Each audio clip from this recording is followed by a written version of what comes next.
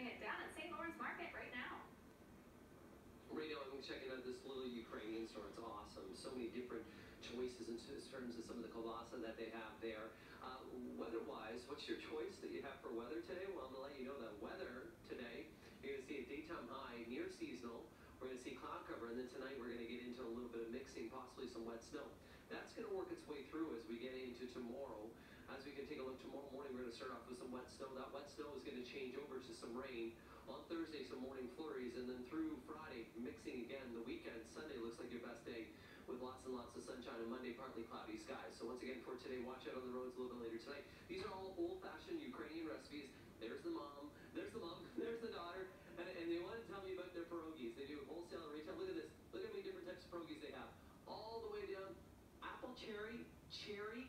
I've never tried before. We're going to have to try those. So if you're looking for some pierogies, look